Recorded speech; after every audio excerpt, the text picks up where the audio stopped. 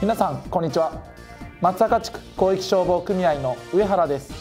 今回の暮らしの安全情報は台風大雨による風水害と警戒レベルについてお話しします。私たちが暮らす日本は大陸と太陽に挟まれ台風や前線を伴った低気圧が日本付近を通過するとき広い範囲に大雨を降らせることがあります。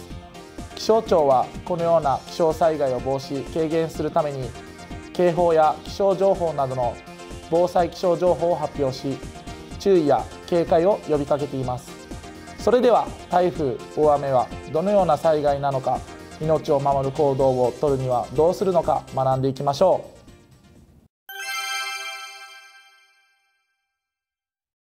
風水害の要因として主に台風や集中豪雨局地的大雨が挙げられます。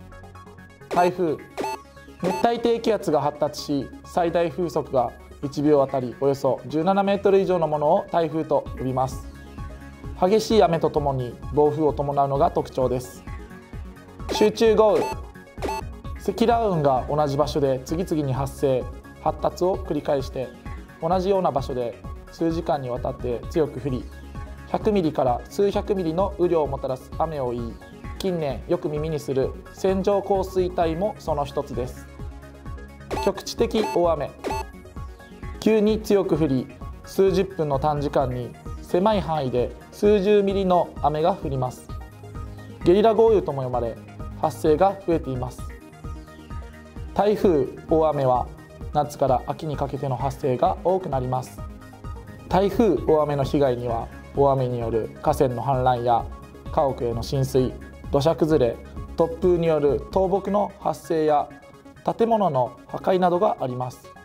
また海の近くでは気圧の低下と風の影響などにより海面が上昇し海水が押し寄せる高潮被害が発生します。風水害をもたらす台風大雨などの時に発表される警戒レベルが5段階に分けて防災気象情報として提供されるようになりました。その警戒レベルごとの行動について簡単に見ていきましょう。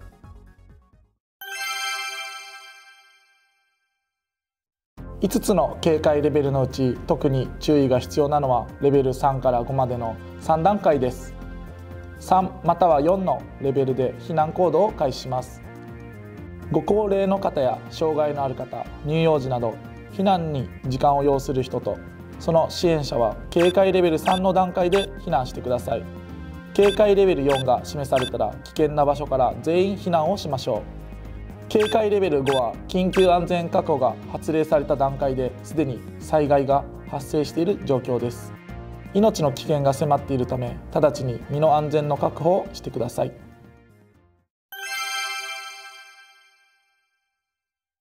それでは避難をしなくてはならない時はどうすればよいのでしょうか。1行政が指定した避難場所への避難。避難する際にはマスク消毒液体温計スリッパなどを準備しましょう。2親戚や知人宅への避難。普段から災害時に避難することを相談しておきましょう。3ホテルなどへの避難。通常の宿泊料が必要です。避難の前に予約確認をしましょう。4屋内安全確保。自宅周辺に土砂災害や浸水などの危険がないのであれば在宅避難も一つの選択肢です。ハザードマップで安全な条件が満たされているかを確認しておきましょう。避難が遅れ無理をして避難所に向かうことで危険が増すこともあります。その時の状況に沿った安全で確実な避難を心がけることが重要になります。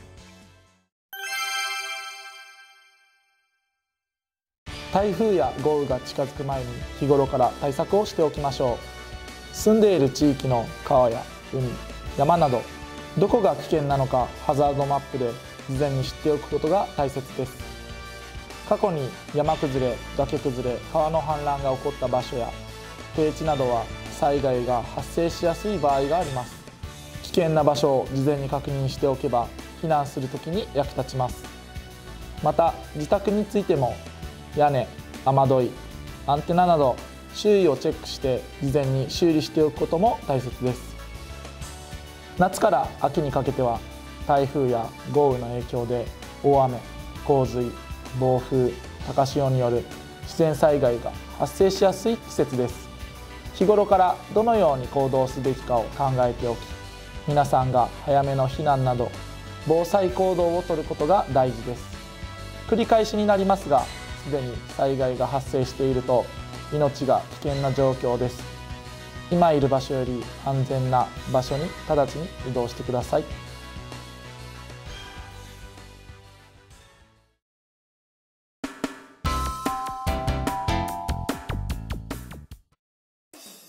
水槽車は火災現場の近くに消火栓や防火水槽などがない時に活躍します。車の後方にあるタンクには10トンの水が入っていて2リットルのペットボトルで例えると5000本分になります。火災現場ではポンプ車の近くで防火水槽の役割をしたり装備されている小型ポンプから水を出すこともできます。